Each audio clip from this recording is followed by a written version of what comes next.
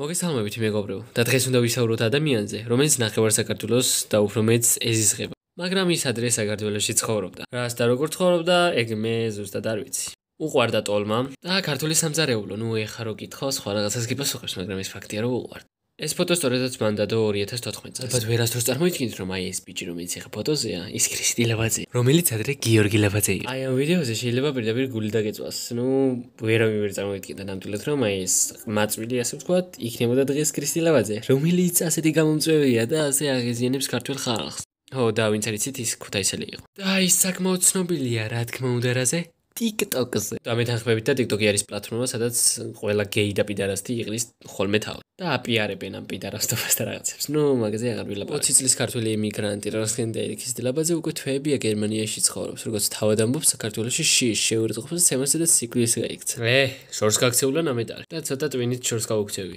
მაგრამ ის სანამ ასე შორს გაიგზაო და მანამდე თბილისში თუ რასაკეთებდა თბილისში, ეს ყველამ კარგად ვიცით. ნუ თუ არ იცი, მიგახვედრებ. დაი კიდე ვერ მიგახვედრებ. მიხვდი შენ, ისე რომ ვთქვა, უკვე მიგახვედრე. მაგრამ მაგრამ ქრისტი ლავაძე ამ ყოლაფეს არ ნანობს.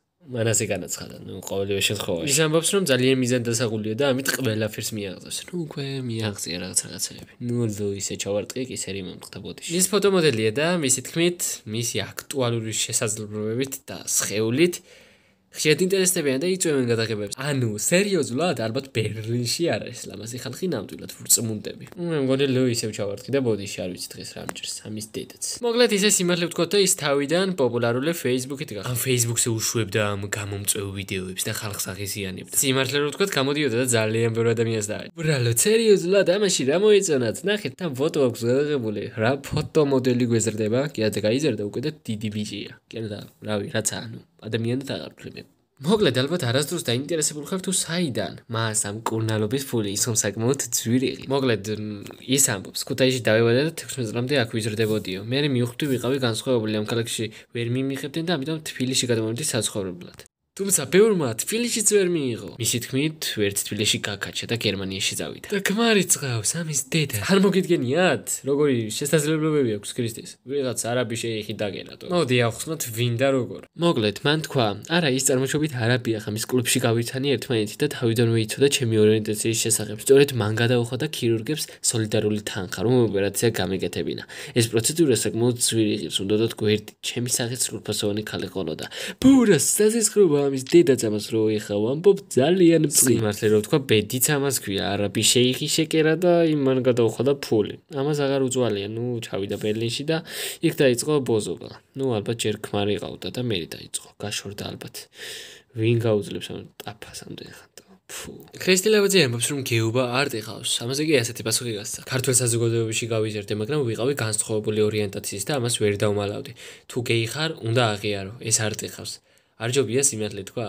ვერ მიმიღო ჩემმა საზოგადოებამ ისეთი როგორიც ვარ? ვერა, ვერ მიგიღო და ის ძალიან დიდი ფაქტი. ოთა ერთი რაღაც გაიხსენა გერმანიაში რო იყო ქრისტი ლაბაძე, იტოქში ჩაიარა ბიჭები რა და ქართველები ასე თქვა.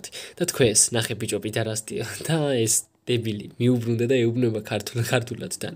გაიარე, თორემ პოლიციას გამოვიწეხებ მეთქი. და ხმა ჩაუვარდეთ და განაგზეს გზა, რადგან იცოდნენ რომ გერმანიაში შეურწყობის გამო პასუხს მოსთხოვენ და თან კაცრად. ეხ, ქრისტი, რანაირი იმედები გაქვს ბერლინში თუ გერმანიაში თუ სადაც ხარ, ფეხებს ვერ მოგჭავს ვერავი, ეს მართალია, მაგრამ ფეხებზე კიდი ხარ, შე, რადგან გერმანია, გერმანელი არ ხარ, ასე ვთქვით. აი, ხარ, ვიცი რა ვთქვით. დიდად, მაგრამ დაიგეთ. ეხლა რასაც გეტყვით, გაგაუცებთ. მას პირადობის მოწმობა აქვს. რაღაც ვერ ხვდაობთ დღეს. კარგი, დაკითხეს, პირადობის მოწმობაში რა სახელით სქესი გიწერია და მან კი უვა სხვა პირადობაში სქესი მდედრობით იმიწერია და სახელი ქრისტე როგორც კითხებით ოპერაცია გავიგეთ და ოფიციალურად ვარ რეგისტრირებული ქორწინებაში ქმართან, ანუ ხელი მოვაწერეთ გერმანიაში და ცოლკმა. ხო, და წერან თქვი თბილისში რა საკეთებ და არ ვიტყვი მეთქი და მოდი ვიტყვი. მას ბინა ქონდა ნაკირავები და მუშაობდა სექს ვერ ვამბობ ხოლმე ამ სიტყვას. მუშაობდა სექს მუშაკად. ფულს გერმანიაში წამოსვლელად აგროვებდა. ვაიმე, რაინა მებმებოდა. საიტებზე ედო მისი მონაცემები აზრზე ხარ და უკავშირდებოდნენ ქართველი კლიენტები. საკმაოდ ბევრი მსროლი იყო და საათი 150 ლარი ღირდა.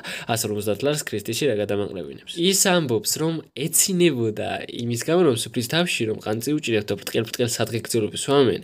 ტრანსექსუალებს ქუჩაში აგინებენ და მათ მიმართ აგრესიას გამოხატავენ. უნდა გენახათ ჩემთან ერთად ცალკე ოთახში ჩაკეტილები როგორები იყვნენ.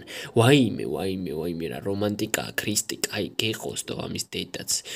ამის დედავატირე რა რომანტიკა. ის ამბობს რომ პოლიტიკოსებს და უამრავ მაგარტიფს და ცნობილტიფს ქონდა მასთან ლახატი არა და ქუნემქუნები. მოკლედ ეს ვიდეო თუ მოგეწონა აუცილებლად დაალაიქე, გამოიწერე ჩემი არხი და გამომყევე ასე უნდა გამომყვე პრინციპში არაფერი არ მაქვს. კარგი, არ გამომყვე, უბრალოდ დაალაიქე და ბოლომდე უყურე ვიდეოებს გადადი YouTube-ზე.